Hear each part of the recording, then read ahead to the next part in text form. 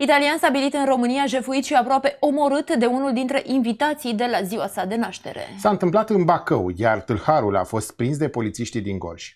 Individul a fugit după ce l-a atacat pe italian și s-a cazat la o pensiune din Târgu Jiu. Mascații din cadrul IPJ Gorj au descins la pensiunea respectivă și l-au săltat pe tâlhar. Acesta a fost escortat la Bacău, acolo unde a fost reținut pentru 24 de ore.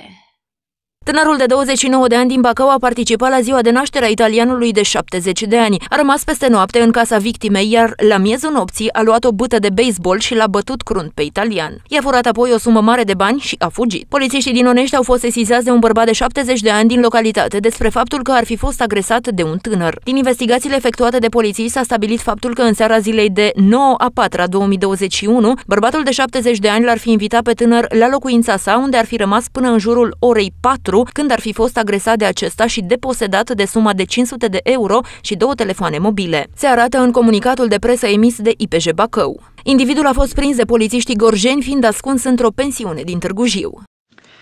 În noaptea de vineri spre sâmbătă anul curent, polițiști din cadrul Serviciului de Investigații Criminale, uh, cu sprijinul luptătorilor din cadrul Serviciului pentru Acțiuni Speciale, au organizat o acțiune și au identificat pe raza municipiului Târgu Jiu un tânăr de 29 de ani din municipiul Bacău, pe numele căruia organele de cercetare penală din cadrul IPJ Bacău emiseseră un mandat de aducere.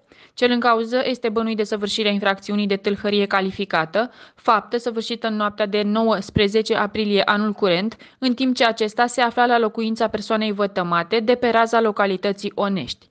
Polițiști de investigații criminale din cadrul IPJ Gorj au pus în executare mandatul de aducere, tânărul căutat fiind predat sub escortă pentru continuarea cercetărilor de către polițiști din cadrul IPJ Bacău. Individul de 29 de ani riscă să petreacă ani grei după gratii pentru faptele sale.